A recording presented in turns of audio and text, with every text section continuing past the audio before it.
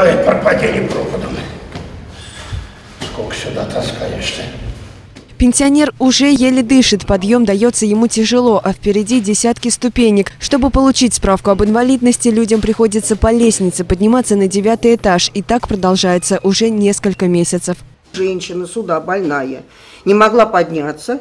И это на коленках поднималась на девятый этаж, а вниз спускалась, извините за выражение, на попе по ступенечкам. Это дело Столько здесь стариков. О том, что лифт отключат, Главное бюро медико-социальной экспертизы по Тверской области уведомили за месяц. Идиома предупрежден, значит вооружен, в данном случае не работает. Руководство учреждения уверяет, что посетители могут вызвать специалиста на первый этаж, чтобы самим не подниматься. В таком случае странно, что очередь все-таки перед кабинетом бюро, а не около неработающего лифта. Да вы что, вы смеетесь, что ли? Кто кого поднимать будет, или какой специалист придет? Ничего не сделано. Вот я уже третий год инвалидом обширного инфаркта.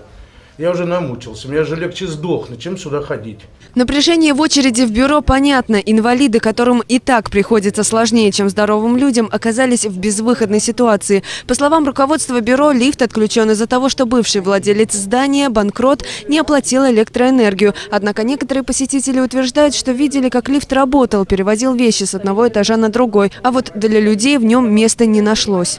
Я с неходячим ребенком, перенесшим много операций, должна подниматься на девятый этаж. Как? На руках он у меня большой, ему 8 лет. Как я его должна поднять? Вы представляете, да я должна, значит, кушетку приносить, на каждый этаж ставить кушетку, ложить его и поднимать. Что за безобразие? Помогите нам, пожалуйста. Срок аренды помещений на девятом этаже у бюро истек еще 18 ноября. Теперь здание Новокжанова 15 полностью принадлежит новому собственнику, следственному управлению. Бюро должно переехать на чайку Чайковского 62А на первый этаж, который полностью освобожден и готов принять учреждение. Бюро, в свою очередь, уже собрало вещи, но переезд до сих пор откладывается.